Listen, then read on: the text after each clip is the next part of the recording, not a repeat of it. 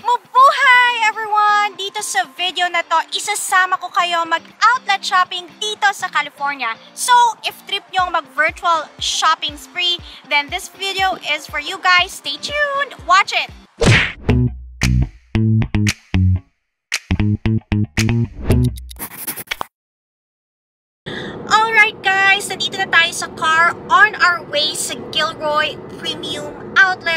So, obviously, nasa Gilroy, California siya guys. Pupunta tayo doon. Today is outlet shopping day for us. Uh, tignan natin kung uh, magkano yung aabutin ng shopping natin for today. Well, depende yan sa uh, mga makikita natin doon guys na items, no? Kung may magustuhan tayo. By the way, if you're wondering, itong Gilroy, Gilroy Premium Outlets na to, it's an hour away from the Bay Area kung saan kami nakastay. So, medyo talagang dadayuin nyo siya. But, yun nga, kasi it's a premium outlet. Uh, maraming mga designer shoes and bags. Kung yun yung talagang purpose nyo para mag-shopping kayo, an outlet is always a good idea, lalo na dito sa US. Uh, lalo kapag isa kang Filipino immigrant, you know, like in my in uh, my Buhay America series, as part of the Buhay America series, walang Pilipino guys. Walang Filipino immigrant ang hindi nag-shop sa outlet para bumili ng mga bags, shoes, kasi lagi namang sulit yon di ba? So anyway, it says here 20 minutes na lang, nandun na tayo sa outlet. I'm very excited sa lahat ng mga shoppingera dyan. I'm sure makaka-relate kayo kung gaano yung, gaano yung excitement natin kapag parating na tayo dun sa mall para mag-shopping, no? So I'll see you guys there and super excited na ako. Tignan natin magkano aabutin ng gastos natin for today. See you! Alright guys, ang first stop natin is Lululemon. It's an athleisure shop. Dito ako bumibili ng mga leggings. Hindi ko alam kung available na ba ito sa Philippines. Pero, excited na ako kasi medyo pricey siya guys. Ito talaga yung pinunta natin dito. So tara na, pasukin na natin. Hopefully may mabili ako today.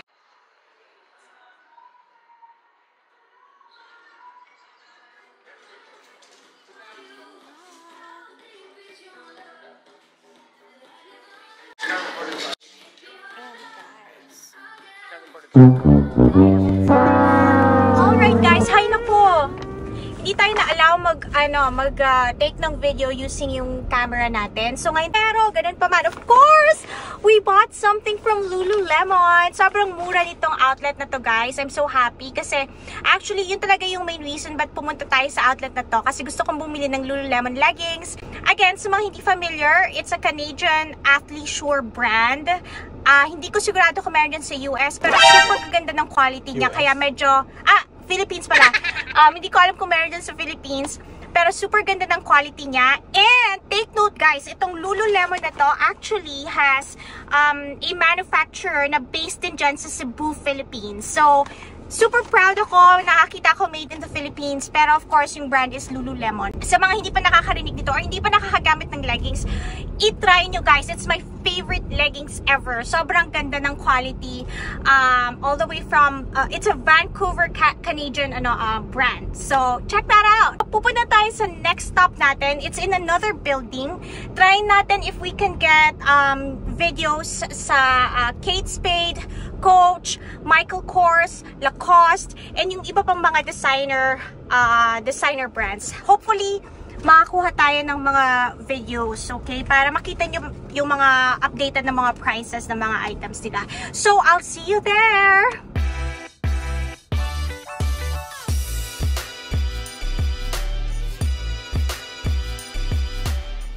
So, ayan guys, andito na tayo sa Coach. Actually, madalas ko talagang puntahan tong coach na to kasi bumibili talaga ako dito ng mga bags na pampasalubong.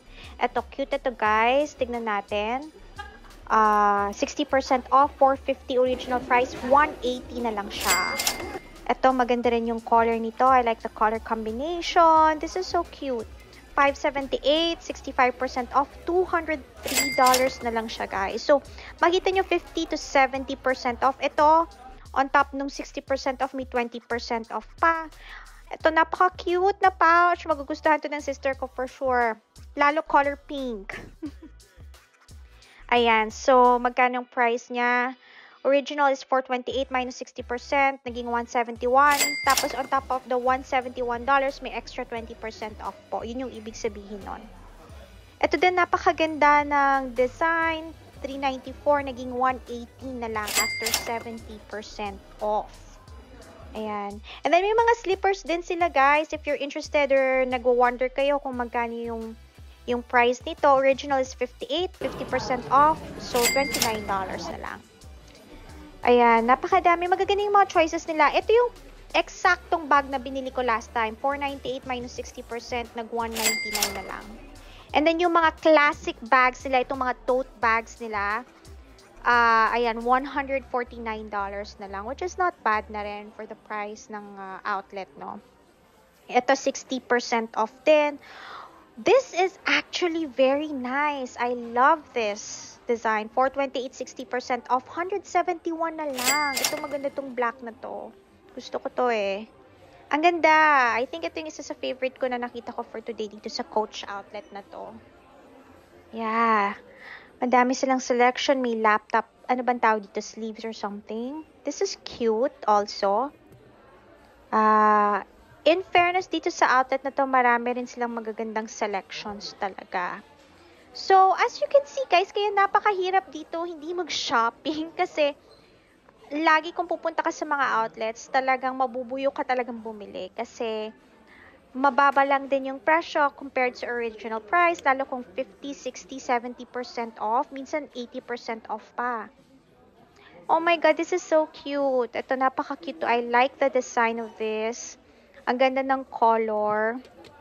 And then, pwede rin ata tong sling bag or, yan, 478, 60% off. $191 na lang yan, guys uh, after nung mga um, discounted price niya. As you can see, if mapapansin nyo, above 50% lagi yung discount ng Coach dito sa mga outlets dito sa US. Ito maganda yung mga designs nitong mga bags na to. Ito gusto ko tong color blue na to na parang jeans. 60% off, 159 na lang to, dollars. After nung 60% off from the original price. Napakaganda, very cute. So, ito talaga, madalas ako dito pumunta kasi dito ako bumibili ng mga pampasalubong, pangbalik bayan ng mga boxes. Ito, $89 to. Um, yung mga loafers nila or slippers. Guys, gusto ko to. Tignan natin yung price. 520, 428. Pero yung 50% off na lang.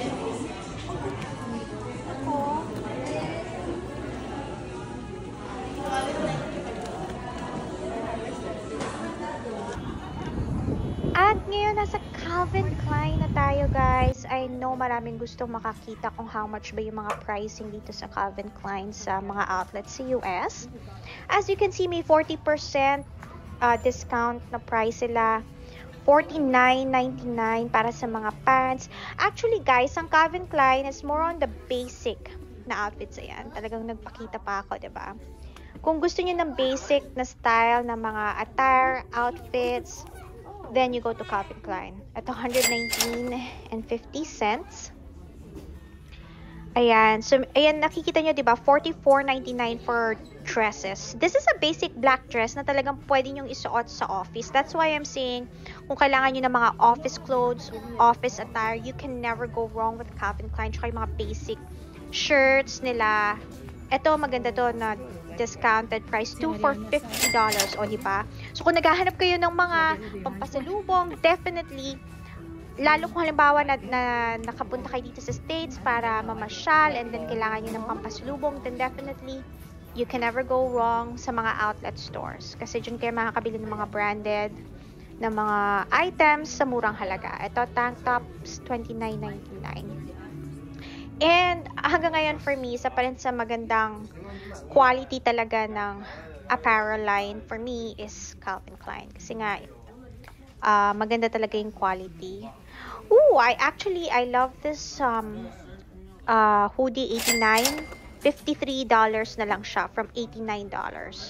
Kasi discounted price. Maganda tong pagka-green yan, neon green. In fairness, maganda yung mga colors ha. I love yung pagka-orange nito. And 40% off. So, $75 original price minus 40%. $45 na lang yan, guys. So, makikita nyo na kahit paano, malaki-laki din yung um, nababawas sa original price niya. Mas mababa lang ng konti yung binawas niya compared sa uh, coach kanina dun sa mga iba nating napuntahan. Ayan, kitang-kita nyo naman 59.99, naka 30% off na siya. Ayan. Tapos, of course, kailangan tignan natin yung mga uh, bra and underwear kasi hindi kompleto ang Calvin Klein na pagdalaw natin without this. So, check natin yung price, guys. Maganda to. I love this bra. Tignan natin kung how much. Ayan. Pag, syempre, hindi ka pwede, pag nag-Calvin Klein ka, kailangan bumili ka ng mga undergarments nila. Maganda talaga yung, ano. So, $55 minus 20% is equivalent to $44. Actually, may, medyo may kamahalan pa rin for me for a single na bra. Right? Pero I guess because of the design, ayun. So, 20% lang yung binaba niya. Ito, $68 to guys, minus 20%. So, nasa mga 40 plus siya. Pero maganda yung design, don't get me wrong. But siguro, if para lang sa isang bra or single bra, medyo mahal yon. Ito, $13 each bikini. Or buy four or more. Yeah. Maganda ang quality ng Calvin Klein, guys, when it comes to undergarments din. So, it's very, very good. Meron din sila mga basic bags. As you can see, guys, yung mga colors and designs nila, basic talaga. So, that's why I'm saying, kung ikaw yung type na, hindi ko alam kung tama ba yung term na minimalist or something. Ito, to $450 tong mga shirts na to. Uh, pero don't get me wrong, magaganda yung mga designs din nila ha. More on the, the ano lang eh, yung um, minimalist yung ano nila, yung mga designs nila. This is a very nice shirt. Maganda rin yung mga slippers nila. Ayan guys. $49 minus 30% yan. So, magiging $34 yan. Michael Kors. Siyempre, hindi tayo pwede pumunta ng coach lang. Kailangan pasukin din natin si Michael Kors. Ito, ang, da ang daming may favorite nito. Ayan, as you can see, ay magaganda yung mga ano din nila, bag selection. $139 to sa taas. And to naman $159. Ito, this is cute. Itong black na to. Maganda to. Very classy. Ayan, $159 yan. Yung sa baba, kita ko 119. Ay, mas marami. Maganda rin yung mga collections. Sorry, $119 pala itong type na to. Maganda itong mga colors nila. May orange. I don't know if it's salmon pink. Ito 159 kasi mas malaki siya ng konti, guys. But I think mas prefer ko yung mas maliit kasi mas cute.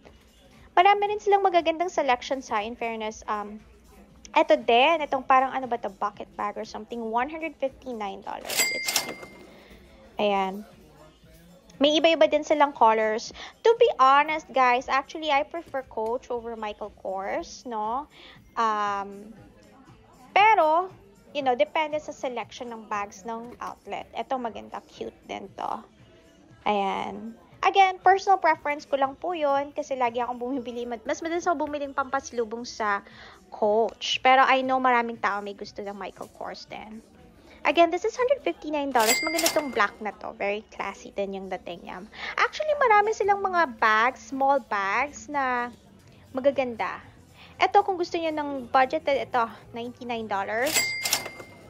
I think ito yung isa sa pinaka-simplest na design nila dito sa outlet. Ayan, maraming colors, ba diba? Lalo yung mga pampasalubong dyan, or kahit hindi pampasalubong, yung mga pambalik, pambalik Ayan, balikbayan boxes natin, di ba? Na gusto natin bilhan yung mga families natin. Uh, definitely, kahit paano mas okay din sa budget to. Kasi $99 is not bad na rin. Especially if uh, may brand naman yung bag. Ito yung mga, ito din $99. This is cute. Actually, ang cute din ito. Cute nito. Maganda. Pang cute casual attire. Ang ganda niya. Maganda rin yung mga color selection. Ito, 159 para sa parang, ano ba to, backpack or something yan. And then, Actually, ito, magandang design din to. $199. Um, actually, black, brown, maganda yung design niya. Maganda rin to. Hindi pa ako talaga bumili ng Michael Kors na bag dito sa States since maglipat ako. To be honest, uh, just a fun fact about me, guys. Hindi ko lang, hindi, hindi lang talaga ako mahilig siguro bumili nitong brand na to. But don't get me wrong, alam ko talaga maraming may gusto ng brand na to, lalo dyan sa Philippines. Itong style na to is really, really nice. Ito, itong sa taas, medyo maliit na mga backpacks, mga $159. Yung all the way sa taas, $179. Ito, ito, $219. Guys, lahat ng mga nakikita niyong prices sa tag na yan, naka, ano na yan, discounted prices na yan. Kaya hindi mo na kailangang mag-compute. Kasi yun yung difference na napansin ko between yung Michael Kors stores and Coach. Kasi sa Coach, ang ilalagay nila is yung percent ng discount. Ito maganda to. Cute. Ito pala, cute. So, dito guys, sa Michael Kors, na nakita ko, you don't have to compute for anything kasi yung makikita nyo dyan, ano ba ito, $89. Ah, yung cute din ito. Super cute. Ang ganda. $89. Yung nakikita nyo dyan na price na yan is actually, ano na yan, discounted na.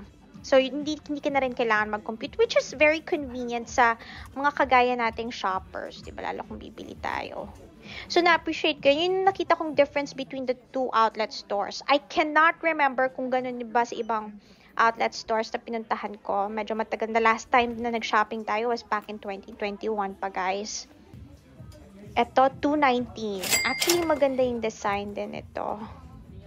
Pink! Nako, magagus magugustuhan to ng sister ko pag nakita niya to. Baka ipabili niya. Ato naman, they also have like, uh, ano to, slippers or slip-ons. Bantaw dito for $89. Ayan. Different colors then. Perfect for summer, spring. And this is also 219. Kaya lang sinasabing for 2 piece yan kasi kasama pati yung parang wallet na malaki.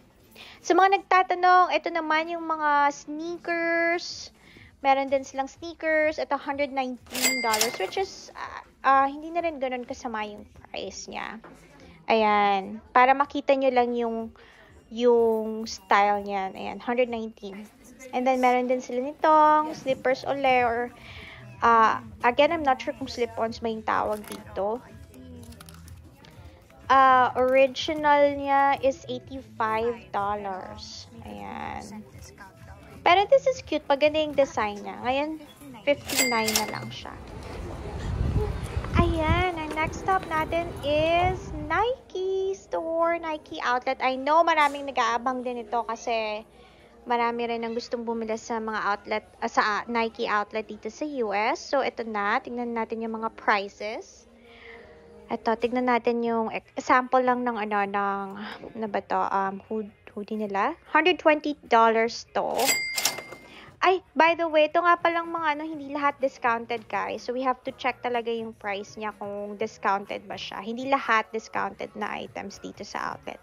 Ito, original price is 85, naging $59 na lang. Ito, Lakers na jersey. And sila sa mga idols, si Lebron. Ayan, 110 original, naging $57 na lang. So, mga 50% off. But then again, guys, as I've said earlier, hindi lahat discounted, okay? Merong mga, ano yan, specific area na, specific sections na hindi discounted. Ito Jordan na hoodie. Original 75, naging 49.99. Ito, $25 each tong mga shirts na to. Mga basic shirts nila to na I'm sure, I'm sure, ito, ito pala, itong part na to, 2 for $30. Anyway, tuloy ko lang. I'm sure ito yung magandang, magandang section na mag-shopping kasi lalo yung mga pam, pampadala sa Philippines, mga pampasalubong. So, ayan, alam nyo na. $2, ah, 2 for $30. Which is not bad, ha? Lalo na yung mga talagang gusto lang ma mang pasalubong. Dito na tayo ngayon sa shoes. Kagaya nito, hindi to discounted. $129.99 yung talaga yung price. Ayan. Ito, cute din. So, makita nyo kasi may retail price, adjusted retail price, tapos may nakalagay na R price. So, meaning yan yung price nila na binibenta yung ito Nike Air. Cute din yung color nito. 95 original, uh, suggested, 79.99 sa kanila. Nasa ladies section tayo, baka kung sa mga hindi nakakahalata ha. So, pumunta muna tayo sa ladies section. Check na natin yung mga iba't ibang prices ng shoes. Ah, uh, tignan natin. Mukhang andito na tayo sa may kids section. Silipin na rin natin while we're here para may idea din kayo ng kids section. Ayan, $39.99. Ang retail price, adjusted retail price is 55 So, Ayan, iba-iba din yung selection yan. Magandang pang um, pasalubong sa mga kids. Ayan. Okay.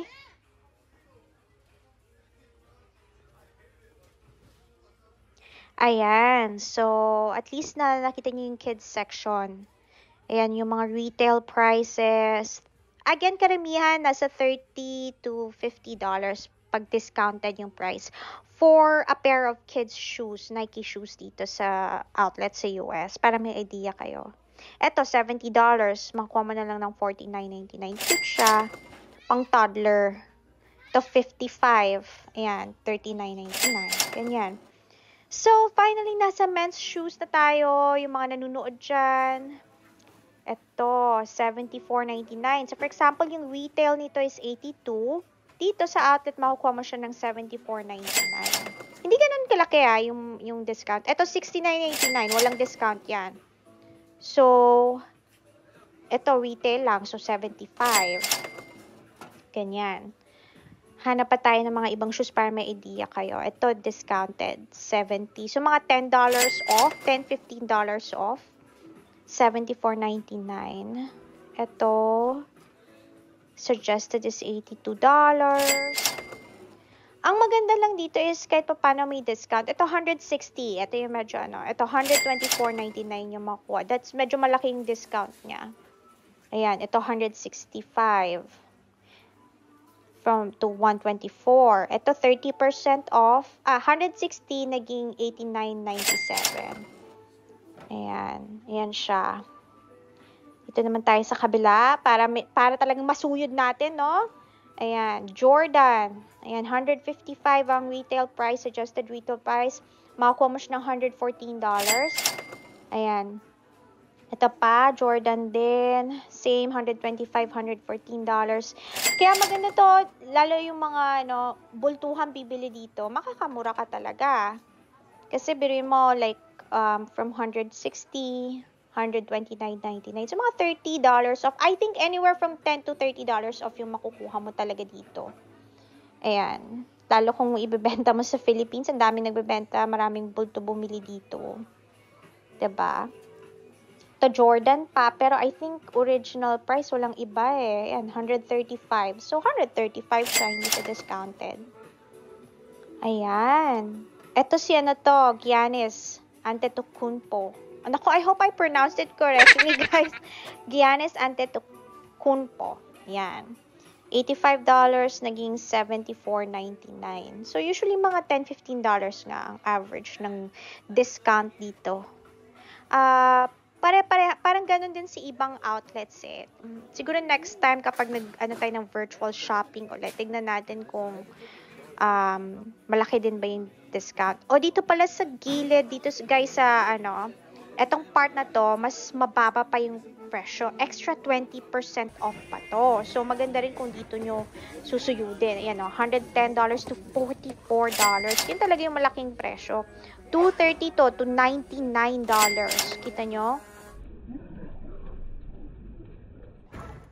Ayan, nandito naman tayo sa Tommy. Okay, na I'm sure kilala din dyan sa Pinas. 40% off on top of the $69.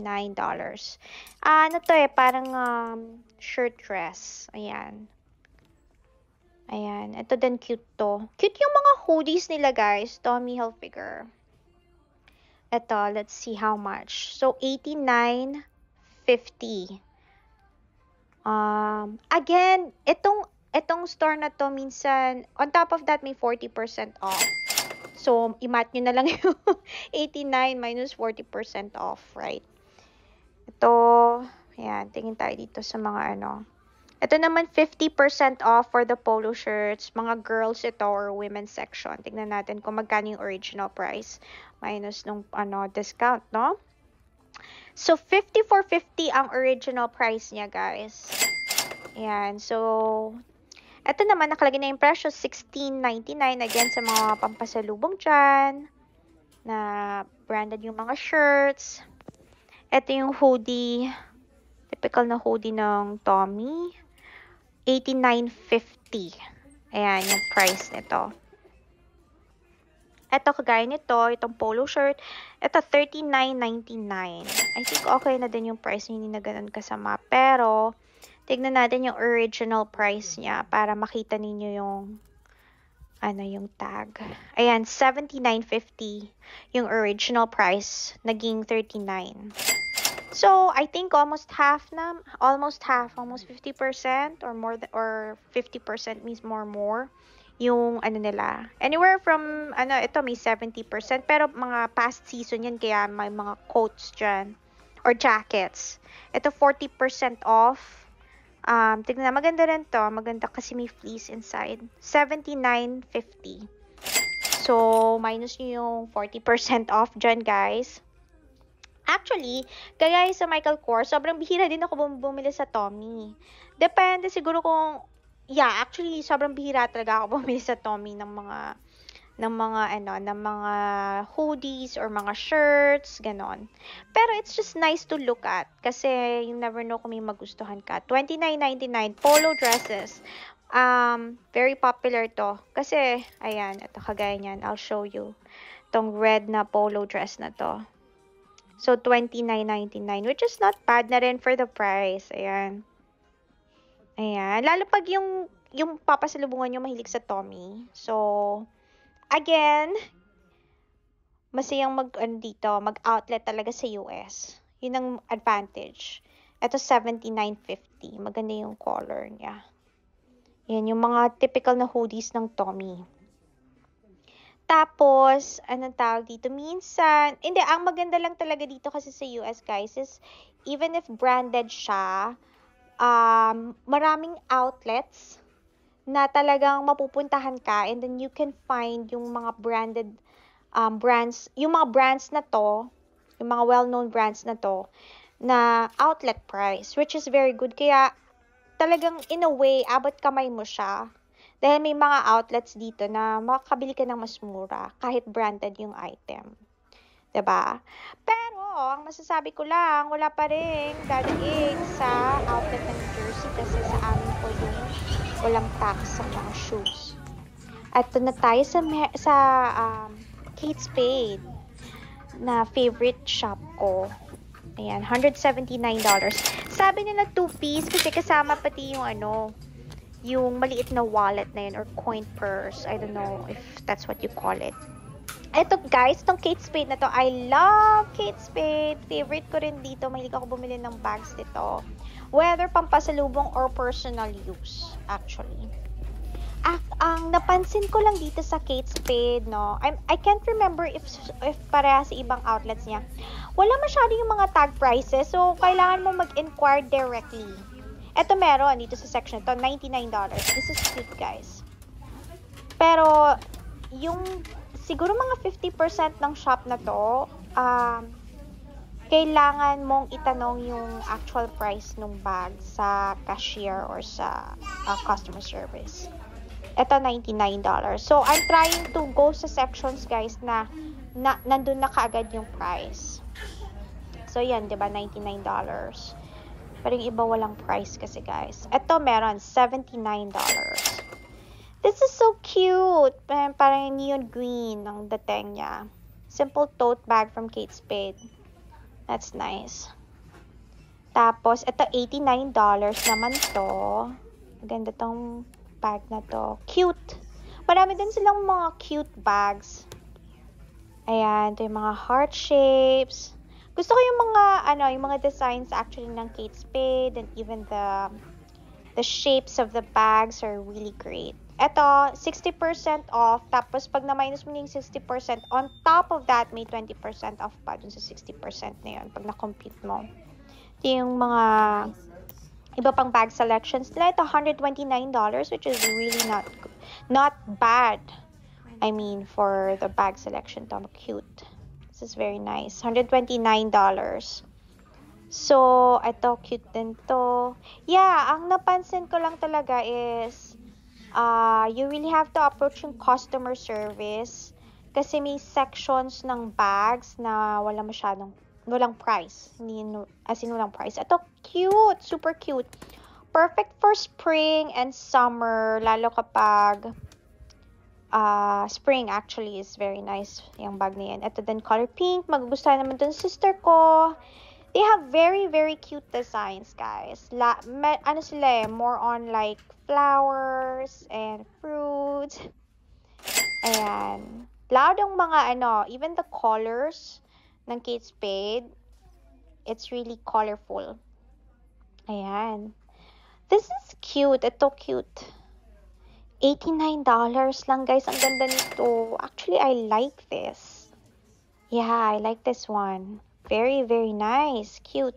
It's very classy, actually. Kahit sa event. That's not the bad, ano ha, price. That's just for $89.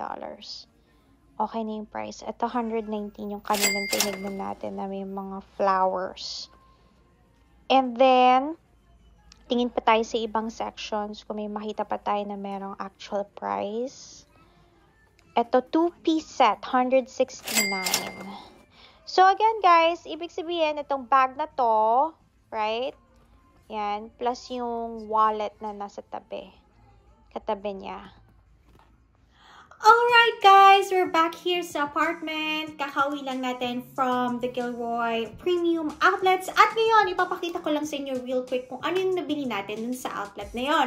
And of course, hindi makakompleto ang ating shopping kung wala tayong resibo. so, I am glad to inform you na less than $200 yung ginastos natin for today.